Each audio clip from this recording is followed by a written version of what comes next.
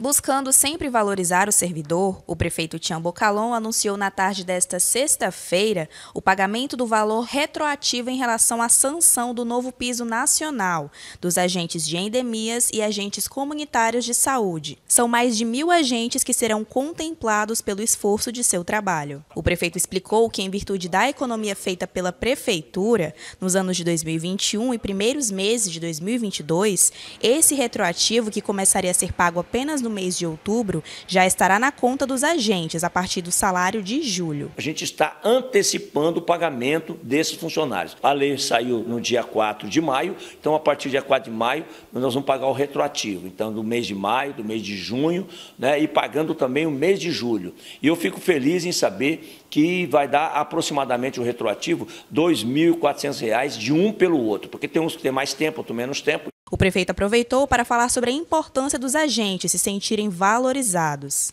esses agentes comunitários de saúde, agentes de DEMIS, passam a ganhar dois salários mínimos de piso. Eu fico feliz com isso, porque quando o trabalhador recebe é, um, um, bom salário, evidentemente que ele trabalha com mais vontade e atende melhor as pessoas. O pagamento de julho, que estava previsto para essas categorias no dia 25 de julho, ele já vai receber agora no dia 11, juntamente com o retroativo. Então, isso é uma política de valorização dos servidores, onde eles vão ter realmente, é, sentir aí no bolso, né, aquilo que o município é, está valorizando, não apenas com palavras, mas, de fato, reconhecendo o trabalho e a qualidade do trabalho.